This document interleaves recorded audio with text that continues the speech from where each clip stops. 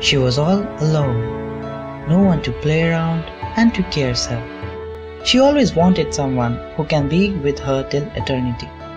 One day, her grandma brought nature to her doorstep, and she cheered with joy.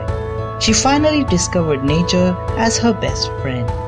They both flourished and grew together.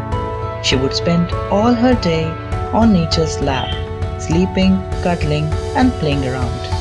They both shared many years of life and passed several seasons together. She would lament all her sorrows and celebrate all her joys with nature.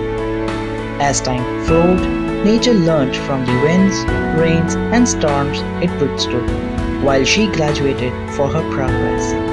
But as she prospered, she forgot nature and was left all alone. And one day, nature got murdered for her needs.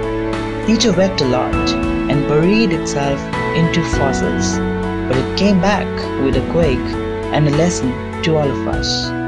Our survival is nature's gift to us. Let's not kill it and see ourselves on a wall frame.